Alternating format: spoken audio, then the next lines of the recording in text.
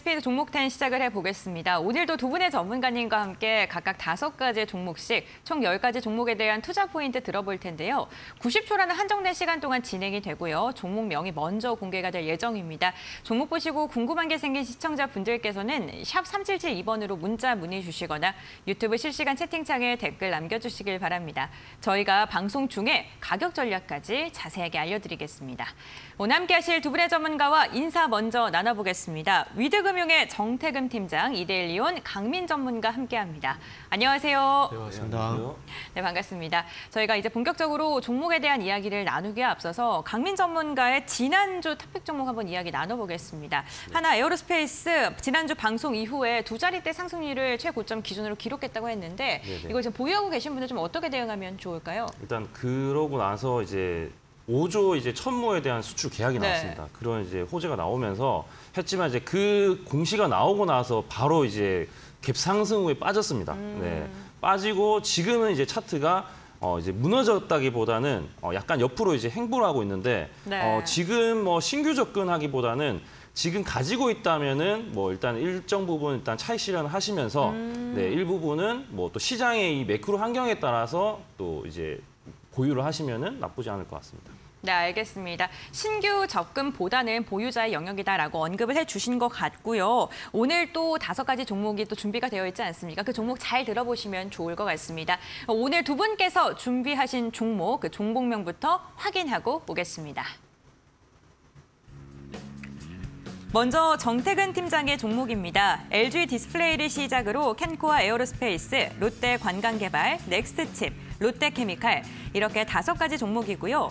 강민 전문가는 동진세미캔, FST, SNS텍, 카카오페이, 셀트리온 헬스케어 총 10가지 종목 준비되어 있습니다. 여러분들은 어떠한 종목에 더 관심이 가실까요? 네, 10가지 종목이 먼저 공개됐습니다. 시청자분들께서는 궁금하신 점 편안하게 여쭤봐 주시길 바라겠고요. 그럼 정태근 팀장님의 종목부터 확인해 보겠습니다. 첫 번째 종목, LG 디스플레이 투자 포인트 들어볼까요? 네, 일단 투자 플레이는 그 포인트는 일단 뭐 분위기가 좀 바뀔 것 같아요. 어, 어떡해요? 그러니까 전반적으로 이게 종목을 살 것인가 말 것인가의 투자 심리 이런 부분도 좀 말씀드리고 싶은데 네. LG 디스플레이는 아시겠지만 적자도 현재 나고 있는 상황이고 그리고 업황을 보게 되면 LCD도 그렇고 그렇고 이렇게 우호적인 상황은 아닙니다. 음. 근데 지금 조심스럽게 이제 미국이 이제 반도체에 이어서 디스플레이 같은 경우도 디, 그 중국에 대해서 그 수출 규제에 대한 검토를 하고 있는 상황이기 때문에 아마 이런 부분들이 제가 봤을 때 삼성 디스플레이보다는 LG 디스플레이가 좀 더 도움이 되지 않을까라고 생각을 하고 있습니다. 예를 들게 되면은 어 지금 애플의 아이폰 14를 한번 예를 들게 된다라면은 4종의 모델인데 거기에 LTPS 방식과 LTPO 방식이 있습니다. 근데 LTPS 같은 경우는 이제 그 아시겠지만 BOE 징동팡이 들어오고 있는 상황이기 때문에 이 LG 디스플레이 같은 경우는 쫓기는 입장입니다. 그런데 반대로 LTPO 같은 경우는 이제 LG 디스플레이가 이번에 들어갈 뻔했 는데 기술적인 어떤 문제 때문에 LTPO는 잡지 못했거든요.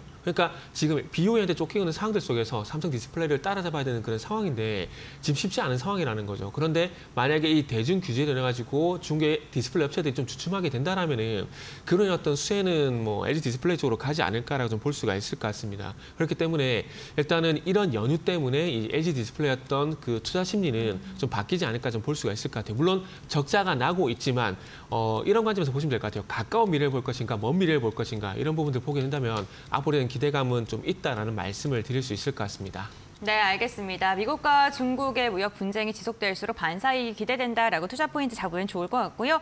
다음으로는 강민 전문가님의 종목 들어보겠습니다. 첫 번째 종목 어떤 종목일까요? 네, 동진세미카엠이라는 종목이고 어, 이 종목 네. 같은 경우는 10월 26일 날 제가 이 코너에서 네. 탑픽 종목으로 가져왔던 종목인데 어 이제 한 번 더 제가 이제 좀 강조를 하기 위해서 또 가지고 음. 나왔습니다. 어 그 지난번 같은 경우는 지금 3만 원대에서 어제 이제 강한 상승이 좀 네. 동반했는데 이게 이유가 있습니다. 일단 어제 경우에는 실적을 발표했는데 3분기 실적 같은 경우에 어, 매출액이 3,770억, 전년 대비 26% 올랐고 이제 영업이익 같은 경우에 623억, 네, 전년 대비 했을 때 무려 이제 79% 증가했다. 어, earning surprise죠. 어, 이런 네. 부분 때문에 주가가 좀 어제 반영했는데 저는 이 부분보다는 어 이제 더 나아가서 EUV에 대한 부분이 좀 더 메리트 있지 않나 이렇게 생각이 들고 지금도 시세가 죽지 않았다. 네, 말씀드리면은 일단은 16일에 어떤 행사가 있냐면 ASML 네, 바로 이제 장비 반도체 장비의 그 큰 이제 어, 대부인 ASML이라는 이 회사의 경기도 화성에 이제 반도체 클러스터 기공식이 열립니다. 여기 당연히 ASML 어, 베닝크 CEO죠. 이 CEO가 경영진들이 다 참여를 하게 되고 여기에 또 이- 이재용 회장도 방문을 하는 게 아닌가 이런 내용이 나오고 있기 때문에 어, 아무래도 지금 이재용 회장 같은 경우에는 이제 회장으로 취임을 하고 나서 어떤 EUV에 대한 부분, 네, 아무래도 TSMC를 따라잡기 위해서 노력을 해야 되겠죠. 그 부분의 가장 핵심은 뭐다? EUV 장비를 어떻게든 좀 생산을 좀 잘해서 아무래도 이 초미세 공정, 네, 이런 부분들을 어, 상용화하는데 앞장서야 되지 않나 이런 부분이 좀 나오고 있고 동진쎄미켐도 이제 EUV용 이제 photoresist 상용화 중입니다. 이런 부분들이 이제 앞으로 머지않아서 좀 좋은 내용들이 좀 들리지 않을까 이런 소식들을 좀 전해드리고 싶습니다. 알겠습니다. 동진쎄미켐 같은 경우 반도체 부분과 관련해서 삼성전자 향 매출이 좀 큰 편이고 이와 함께 2차 전지 관련 산업군도 영위하고 있기 때문에 이 모멘텀 좀 언급을 해주신 것 같습니다. 참고해 보시면 좋을 것 같고요. 다음으로는 정태근 팀장님의 두 번째 종목 방산주 들고 오셨는데 켄코아 네. 에어로스페이스 투자 포인트 들어볼까요? 네, 어, 종목명은 말씀해 주셨고 일단 모멘텀을 좀 봐야 되는데 네. 일단은 어쨌든 결론적으로는 UAM이라고 좀 봐야 될 것 같습니다. 음. 어, 일단 미국 쪽 같은 경우는 조비 에비에이션이라는 기업이 현재 그 UAM 쪽에서 좀 선도 업체로 치고 나가고 있는 상황입니다. 그러다 보니까 기존의 어떤 항공사들 같은 경우는 조금 이그 빨리 발빠르게 사업을 좀 전개를 하기 위해서 어떤 그 사업의 어떤 노하우라든지 이런 부분 좀 빨리 구축을 해야 되는데 아마 그래서 보잉이 그래서 국내에 좀 방문을 하는 것 같습니다. 뭐 삼성이라든지 현대 이런 기업들과 회동을 하게 되면서 이 UAM의 어떤 협력을 좀 진행을 하고 있는데 어 아무래도 이 켄코아에어로스페이스 같은 경우는 보잉 쪽을 보게 된다면은 아시겠지만 보잉 쪽으로 현재 어 연결고리가 있는 상황들이기 때문에 보잉이 또 UAM 사업을 적극적으로 진행을 하게 된다라면은 어 아마 또 켄코아에어로스페이스에 대한 얘기가 나오지 않을까 볼 수 있을 것 같고요. 그리고 이 UAM 같은 경우는 이제 보잉 미국 쪽뿐만 아니라 이제 네옴시티도 어 이제는 UAM이 묻을 가능성이 높을 것 같아요. 어쨌든 뭐 볼로콥터라는 그러니까 미 그 독일의 어 UAM 회사인 그 볼로콥터가 지금 이제 또 사우디와 이제 손을 잡고 또 이제 UAM 사업을 좀 전개를 하려고 하고 있는데 사우디에서 이제 적극적으로 밀어줄 거라고 합니다. 아마 이 네옴시티를 건설을 하게 되면은 거기에 어떤 교통수단 부분이 운송수단 분명히 필요하거든요. 그렇기 때문에 이거를 미래형으로 설계를 하다 보면은 뭐 AI 로봇이라든지 UAM이라든지 이쪽으로 갈 수밖에 없을 것 같습니다. 그러다 보니까 아무래도 조금 적극적으로 밀어줄 수밖에 없는 상황인 것 같고 그래서 지금 뭐 최근에 실적이 좋아지고 있다는 얘기가 있긴 하지만 네. 그럼에도 제가 볼, 때- 제가 볼 때는 켄코 켄코아에어로스페이스 같은 경우는 실적보다는 앞으로 UAM 테마 가 네. 묻을 가능성이 높다 네. 말씀드리도록 하겠습니다. 알겠습니다. 네, 켄코아에어로스페이스 오늘 하나증권의 리포트도 발간이 됐습니다. 본격적인 level up 구간이다라는 리포트도 나왔으니까요. 이 부분 참고해 보시면 좋을 것 같고 우주와 그리고 UAM 함께 수주를 할 수 있는 기업이다라고 평가를 했네요. 어, 다음으로는 강민 전문가님의 두 번째 종목인데 오늘 종목들 쫙 보니까 극자회선 관련 종목들이네요. 어, 네 맞습니다. 정확하게 네. 아시는데 제가 이 관련해 가지고 설명을 좀 드리려고 어, 합니다. 네. 이 FST라는 이 종목 같은 경우에는 네. 펜리크를 생산하는 그 업체인데 제가 일단 이 화면을 한번 좀 켜주시면은 네. 화면에 이 홈페이지입니다. FST 홈페이지인데 음. 어, 일단은 이 pellicle이 어떤 역할을 하는지 네. 네, 여기 자세히 보시면은 여기 마스크가 있습니다. 이게 photomask인데 네. photomask 바로 이제 아래에 이제 보호하는 이 pellicle 같은 경우에는 이 미래 미세 회로에 대한 이 새기는 아. photomask의 어, 이 아래에서 오염 같은 거나 이런 것들을 좀 보호하게 되고 photomask의 이런 수, 수명을 좀 그 증강시켜 줄 수 있는 아. 그런 역할을 하기 때문에 반드시 좀 필요하다. 그다음에 최근에 이제 이 photomask에 대한 어, 품귀 현상이 좀 지속되고 있습니다. 아, 네, 네. 그런 부분들이 있어서 이 종목 같은 경우에 팸, 어, FSD 같은 경우에 팸리크를 좀 본다고 하면은 음. 네, 이 종목을 좀 보시는 게 좋고 이 회사 같은 경우에는 네. 어, 이제 법인이 좀 많습니다. 중국 법인 두 개, 그다음에 미국 법인 하나, 아, 그리고 EUV 공정에 들어가는 계측 장비나 이제 검사 장비, 어, 특히 이제 이소리라는 이 회사를 좀 주목해야 되는데 이 회사 같은 경우에는 지분을 이제 54% 정도 보유하고 있다. 이 회사가 어떤 회사냐면 EUV 방금 말씀드렸던 이 마스크에 대한 예, EUV 포토 마스크에 대한 결함이 있거나 이런 부분을 이제 테스트하거나 이 리뷰에 대한 부분, 리뷰 장비에 대한 부분을 생산하기 때문에 어, 아무래도 삼성에서 EUV 관련해서 장비를 들여오게 되면은 이 photoresist에 대한 성능을 테스트하는 게 필수이기 때문에 이 종목 같은 경우에 지분 투자하고 있는 예, 이솔을 잘 보시면 좋고 예, FST 같은 경우에 지금 pellicle 업체 중에서 어, 가장 핵심이 되지 않을까 이렇게 생각이 듭니다.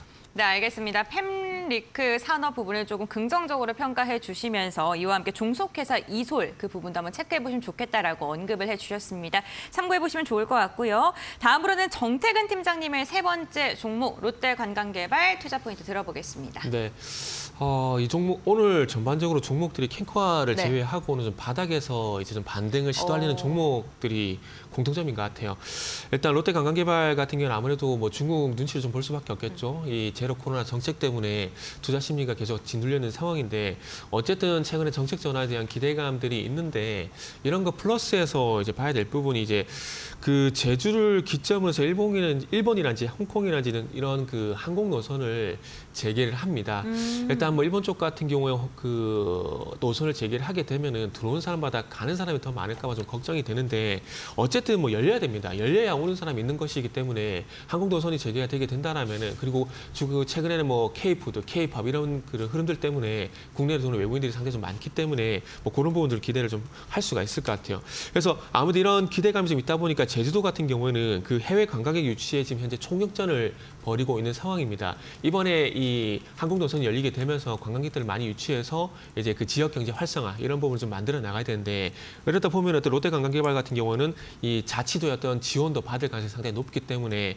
일단은 상당히 좀 기대가 된다를 볼 수가 있을 것 같아요. 그리고 이제 뭐 제주 드림타워 복합 리조트 여기 가보신 분도 있을지 모르겠지만 이 최근에 투숙률이 상당히 높다라고 합니다. 예약률이 상당히 높고요. 그렇기 때문에 지금 어쨌든 이, 이 제로 코로나 reopening의 어떤 수혜를 점점 받고 있는 어, 기업이라 보시면 될 것 같습니다. 다른 카지노 기업들 좋은 네. 기업들 많습니다. 그러나 제주도라든 제주도를 기점에서 좀 보게 된다라면은 아무래도 롯데 관광개발이 일단 이제 앞으로는 좀 부각이 되지 않을까. 지금까지는 하락에서 좀 벗어나지 않을까라는 말씀을 좀 드릴 수가 있을 것 같습니다. 네, 알겠습니다. 롯데 관광 개발 지금 현재는 뭐 중국향 매출과 관련해서 조금은 부진한 모습이 나타나고 있지만 그래도 일본과의 거래 재개 그리고 제주도 시장에서의 시장 상승력 이런 걸 좀 모멘텀으로 말씀해 주신 것 같습니다. 참고해 보시면 좋을 것 같고요.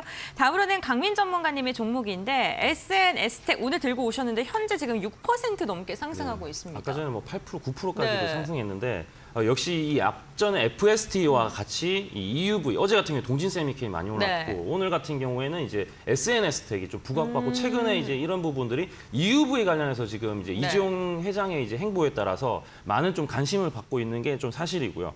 어, 최근에 일단은 지금 blank mask 이 회사 같은 경우에는 blank mask인데 어. 이 화면을 한번 띄워주시면요. 네. 이것도 이제 홈페이지 들어가시면은 어. 어, 나오지만 이 photomask 제가 좀 전에 이제 FST를 설명할 때 photomask를 설명드렸는데 이 photomask 같은 경우에는 사진 원판이 필름 역할을 하게 됩니다. 네, 이 photomask의 원 재료가 어, blank mask다. 네, 그래서 이제 blank mask가 있어야지 이제 photomask를 어, 이제 좀 생산할 수 있고요. 그 거기서부터 이제 EUV 이제 장비에 대한 부분을 어, 또 도입하게 되면은 좀 성과를 낼 수 있지 않나 이렇게 생각이 들고 지금 이제 뭐 얼마 전만 하더라도 포토 마스크 부족 현상, 반도체 초비 이상이다 이런 기사들이 나왔기 때문에 어, 이런 부분들 네, 포토 마스크 제조를 하려면은 블랭크 마스크가 반드시 필수이기 때문에 충분히 지금 부각을 받을 수 있고 어, 오늘 마침 또 제가 이 원고를 쓰기 전부터 네, 반응이 조금 나왔었는데 오늘마저도 주가가 상승한다. 지금 주가는 네, 상당히 좀 부담스러울 수 있지만 여러분들이 앞으로 EUV 행보를 본다고 하면은 어, 조정 시에 매수 관점은 유효하다. 이렇게 좀 보실 수가 있고요.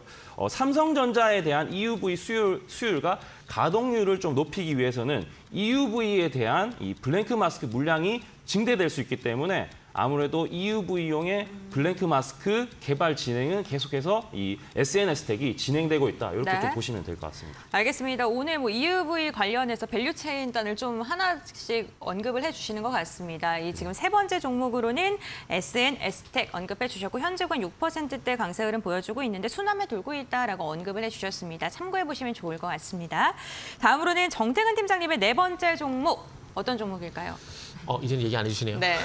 넥스트칩입니다. 네. 저도 IT 쪽에서 하나 준비를 좀 했는데 어. IT 플러스 자율주행 이렇게 좀 말씀드릴게요. 음. 그 넥스트칩 같은 경우도 삼성전자와 거의 거래 관계가 있는 회사고 네. 그리고 이제 앞으로 뭐 시스템 반도체 쪽에서 어떤 얘기가 또 나올지 모르겠지만 앞으로 시스템 반도체 쪽에 이게 나오게 된다라면은 그러니까 자율주행 플러스 시스템 반도체에 대한 얘기가 나오게 된다라면은 좀 주목을 해야 될 기업이라는 말씀을 좀 드릴 수가 있을 것 같습니다. 어, 최근에는 그 ST 마이크로 일렉트로닉스라는 회사와 이 자율주행 분야였던 자율주행 분야에 대해서 어떤 시스템 반도체를 개발을 하고 이런 개발을 통해서 또 이 거래처 확보라든지 그러니까 해외 납품처 확보 이런 부분들을 같이 해 나가기로 어, 협력을 하기로 이제 이게 나왔습니다. 그러다 보니까 그런 이슈들이 좀 주가를 이끄는 원동력으로 좀 작용이 됐는데 어쨌든 뭐 삼성전자를 필두로 하는 IT 대장주들이 전반적으로 강세를 보이게 된다라면은 지금 강민 전문가님께서 말씀해 주셨지만은 반도체 부품주들이 그에 따라서 움직일 수밖에 없을 것 같습니다. 아시겠지만은 어제 같은 경우에 뭐 테스 같은 종목, 아 그저께 같은 경우에 테스 같은 종목들도 강세를 보인 이유가 그런 연유라고 좀 봐지고요. 그러다 보니까 이 삼성전자 하이닉스 어떤 사업 방향성에 따라서 관련 종목들이 계속 부각이 될 건데 넥스트칩은 아무래도 삼성전자와 연관시켜 보게 된다라면은 앞으로 자율주행 칩이라든지 그리고 파운드리 이쪽으로 연계성을 가져갈 수밖에 없을 것 같습니다. 실적으로 그 아파치 6라는 그 시스템 반도체를 이제 자율주행 반도체를 개발을 하고 있는데 이게 삼성전자 파운드리에서 이제 생산이 될 예정이거든요. 그리고 이제 설계 자산 같은 경우는 이제 ARM, automotive IP를 도입해서 진행을 할 건데 어쨌든 이런 연결 구현 보더라도 굵직한 어떤 회사들과 연결이 돼 있다는 부분들을 보게 된다라면은 앞으로 좀 관심을 가져야 될 종목이지 않을까라는 말씀을 좀 드리도록 하겠습니다. 네, 알겠습니다. 자율주행 관련 종목 넥스트칩 언급해 주셨고 삼성전자와의 삼성향과 관련된 매출 증대가 기대된다라고 언급해 주셨습니다. 다음으로는 강민 전문가의 네 번째 종목 카카오페이 어, 전일 좀 뜨거웠던 종목인데요. 네네. 네. 어, 요 종목 같은 경우에 제가 어제 방송이나 이 타, 다른 이제 방송 네. 프로그램에서도 많이 다뤘던 내용이고 어. 카카오나 이 카카오 이제 뱅크 그다음에 네. 카카오 게임즈, 카카오페이 등 이제 이 카카오 그룹들이 그룹들을, 있습니다. 네. 그룹들 중에서 저는 이 카카오페이가 제일 괜찮다고 봤었거든요. 실제로. 어. 실제로 주가도 많이 상승했는데 네. 그 이유가 있습니다. 일단은 리오프닝 관련해서 통틀어서 지금 이 소비가 일어나는 이 거래나 이런 부분에 있어서 카카오페이가 가장 수혜를 좀 많이 받지 않을까. 네. 사람들의 이 지금 경기 침체가 온다 이런 말이 있어도 소비에 대한 뭐 백화점을 이제 가보셔도 이제 사람들이 이제 바글바글 한다거나 백화점 맞아요. 실제로 3분기 매- 매출도 상당히 좋았습니다. 어. 그런 부분들의 온 오프라인에 대한 이런 가맹점에 대한 네, 네. 매출이나 이런 부분들, 네, 카카오페이가 어, 상당히 이제 카카오의 그룹에서 지고 있다. 말도 많고 탈도 많은 이 카카오 그룹이지만 카카오 그룹 내에서 지금 이제 보셔야 되는 이 포인트는 지금 이제 그 투자자분들이 이제 가장 이 카카오의 부정적인 부분은 왜 자꾸 내수 시장에만 한정된 이런 성장을 하느냐 네. 이런 부분이 있지만 어, 드디어 이제 기다렸던 소식이 나왔습니다. 해외에 대한 진출에 대한 소식이 어, 이번 주부터 지난 주부터 들려오기 시작했는데 네. 바로 이제 카카오페이 쪽에서 이제 이 국내 같은 경우에는 지금 카카오페이가 성장을 나타내는 이 reve, revenue TPV라고 있습니다. 이게 뭐냐면은 매출에 기여하는 거래액을 말하는데 이런 지표에 있어서 의미 있는 부분은 이제 증권 쪽이나 이 신용 대출이나 이 대출 쪽, 네, 금융 쪽에서 상당히 높게 지금 나오고 있고요. 그다음에 이제 결제 부분과 이 대출 서비스 요 부분인데 해외 쪽에도 지금 카카오페이가 중국이나 이런 부분을 진출했다. 이런 내용으로 주가가 좀 네. 모멘텀이 받는 것 같습니다. 알겠습니다. 카카오페이 같은 경우 중국과 관련된 이슈로 인해서 오늘 강세 흐름이 나타났었죠. 이 부분 좀 투자 포인트로 짚어보시고 접근하시면 유효할 것 같습니다. 다음으로는 정태근 팀장님의 네, 다섯 번째 종목 롯데케미칼인데 네. 창사 이래 최악의 적자다. 네, 이런 얘기 나오고 있거든요. 네, 지금 접근 괜찮을까요? 상사율의 최대 적자인데 외국인들은 왜 9월 달부터 미친 듯이 들어올까요? 지금이 기회다. 그럴 수가 있겠죠. 네. 그 저는 이렇게 좀 대답을 하, 그 외국인들이 9월 달부터 왜 들어올까라고 좀 대답을 좀 하도록 할게요. 네. 어 일단 이렇게 이 종목도 이렇게 좀 말씀을 드릴게요. 그 가까운 미래를 볼 것인가, 먼 미래를 볼 것인가 이런 부분을 봐야 되는데 어좀 전에 말씀드렸지만 외국인들이 9월 달부터 정말 미친 듯이 들어오고 있는 상황입니다. 네. 그렇다면은 과연 이 외국인들이 적자가 날 걸 모르고 들어왔을까라는 것도 우리 한번 생각을 해봐야 되거든요. 그리고 3분기 실적을 보니까 가장 큰 부분이 일회성 요인이더라고요. 재고 평가손 있는데 요거는 뭐 지속된다라기보다는 어, 일회성이 말 그대로 일회성이라서 보시면 될 것 같고 그리고 어쨌든 9월 달부터 외국인들이 계속해서 들어오고 있는 부분들은 아마 일진 머티리얼즈 인수라든지 그리고 배터리 유경매라든지 그러니까 어, 실적 으로 반영될 만한 어떤 2차 전지 사업들, 배터리 사업들이 가시화가 좀 되다 보니까 제가 봤을 때는 아마 외국인들이 들어오는 것이 아닌가 보는 것 같아요.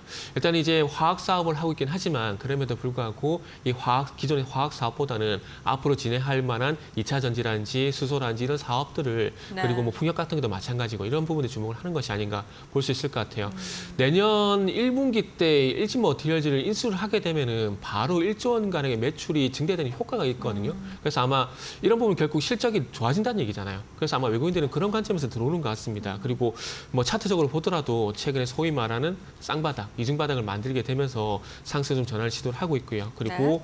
지금 9월 28일 날 대량 거래가 이제 발생되고 난 이후에 좀 바닥을 다지는 모습들이 나오고 있기 때문에 한번 바닥에서 돌아서는 종목으로 한번 보시자라는 말씀을 좀 드려보고 싶네요. 네, 알겠습니다. 롯데케미칼 같은 경우 오늘 실적 충격 소식이 들려오면서 2%가량 하락하다가 지금은 아래꼬리 달면서 조금 올라온 모습입니다. 0.5%가량 약보합권에서 거래되고 있습니다. 어, 다음으로는 강민 전문가님의 마지막 종목인데요. 셀트리온 헬스케어 들고 오셨네요. 네.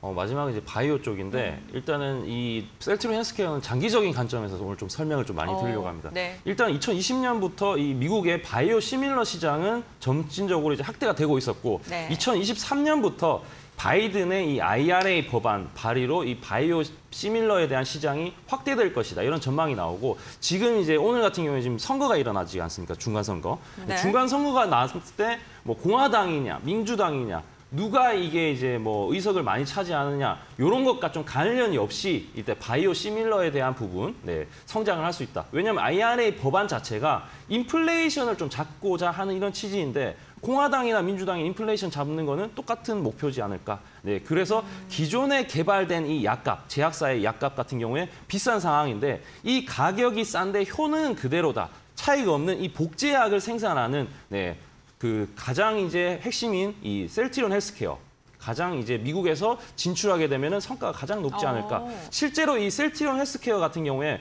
미국에서 만약에 대박 성공할 거다. 그럼 조건이 딱 하나가 있습니다. 이게 뭐냐면은 바로 미국이 이제 80% 시장 점유율을 하고 있는 이 메이저 보험회사들, 메이저 네. 보험회사들의 급여 목록에 등재가 돼야 돼야 됩니다. 여기 등재가 되게 되면은 미국에 대한 이 의약품 유통 시장에 대한 판매 채널이 확보가 되기 때문에 이러면 이제 이 한 단계의 셀트리온 이 그룹주들이 어, 가치가 업되지 않을까 이런 장기적인 관점이 있고요. 2020년 같은 경우에 이미 유럽에서 마케팅으로 시작해서 유럽 성공 모델이 있기 때문에 미국에서도 2023년에서 어, 이 유통 판매 채널을 구축하게 되면은 어, 잘 네. 이루어지지 않을까 생각이 듭니다.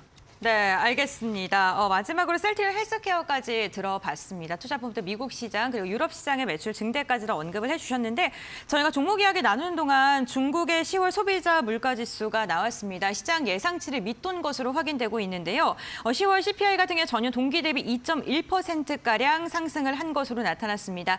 어, 9월 2.8%를 밑돌았고 시장 예상치인 2.4%까지 하회한 것을 보면 은 어, 중국의 물가가 조금 잡힌 것이 아닐까라는 기대도 해볼 수 있는 대목 인데요. 상하이 종합지수 같은 경우는 그래도 약보합권 0.05%가량 현재 구간 밀리고 있고 홍콩 항생지수 0.26% 상승, 대만 각권지수는 1% 넘는 오름세가 집계가 되고 있습니다. 국내 시장 같은 경우 상승 탄력 더 좋아지고 있습니다. 지금 유가증권 시장 0.8% 오름세 나오면서 2,420포인트 지금 도달을 앞두고 있고요. 코스닥 같은 경우에도 0.2%가량 오르면서 715포인트 선 지나가고 있습니다. 네, 지금 이렇게 어, 시장 상황도 함께 체크해 봤고 요. 마지막으로 두 전문가님의 top pick 종목 한번 선정해 보겠습니다. 팀장님 어떤 종목이실까요? 네, 마, 그 top pick 종목은 그 롯데케미칼을 아, 선택했습니다. 네, 네. 마지막 종목 선택을 했는데 일단은 뭐 내용은 말씀을 좀 드렸고 어, 지금 롯데케미칼 같은 경우 리스크가 실적뿐만 아니라 그 자회사 리스크, 롯데건설도 있거든요. 네. 근데 이런 부분들이 있음에도 불구하고 일단은 어쨌든 바닥에 대한 기대감, 앞으로에 대한 기대감들이 있는 것들이 있으니까 좀 네. 긍정적으로 좀 보셔도 될 것 같습니다. 어, 가격 전략을 좀 말씀을 드리면 오늘 제가 생각했던 매수 밴드에 딱 줬다가 간 것 같아요. 음. 오늘 저는 매수가를 10만 5천 원에서 17만 5천 원 정도 좀 생각을 했거든요. 그래서 네. 오늘 좀 싸게 살 수 있는 기회가 있었는데 좀 아깝다는 말씀 드리고 싶고 음. 목표가는 일단 20만 5천 원까지 보도록 하겠습니다. 20만 5천 원에 일단 오. 1차 목표가 정도 설정을 하고요. 네. 그리고 이제 마지막으로 손절가 같은 경우는 16만 원 제시하도록 하겠습니다. 네, 알겠습니다. 그렇다면 강민 전문가의 top pick도 빠르게 확인해 네, 보겠습니다. 제가 다섯 개 중에서 네 개가 지금 다 빨간불이라서 네. 유일하게 지금 안 오른 셀트리온 헬스케어를 정했습니다. 오, 네. 네, 일단 아까 전에 이제 보충 설명을 좀 더 드리면은 지금은 이 램시마라는 이 이제 그 복제약이 이제 지금 뭐 계속해서 판매가 되고 있지만 네. 2023년부터는 이제 베그젤마, 그다음에 유플라이마 그다음에 미국 시장에 침투할 수 있다. 그다음에 2023년에 매출을 봤을 때 어, 2조 4천억 정도 예상이 되고 영업이익 같은 경우는 3,200억이다. 어, 이 정도 수치는 이제 26% 네. 성장하는 수치이기 때문에 성장률 측면에서 충분히 메리트 있다. 그다음에 네. 장기적으로 봤을 때 2026년까지 판매 제품의 이 포트폴리오 11개 증가 어, 확대된다. 네, 그래서 가격 전략을 말씀드리면은 어, 지금 가격이 6만 8,600원인데 6만 9천 원 밑으로 이제 매수를 하게 되면 네. 나쁘지 않을 것 같고요. 목- 목표가는 7만 5천 원, 네, 손절가는 6만 원 잡아드리겠습니다. 네, 알겠습니다. 두 전문가의 top pick 종목까지 들어봤는데요. 오늘 함께해 주신 위드금융의 정태근 팀장, 이데일리온 강민 전문가와는 여기서 마무리하도록 하겠습니다. 오늘 말씀 감사드립니다. 네, 감사합니다.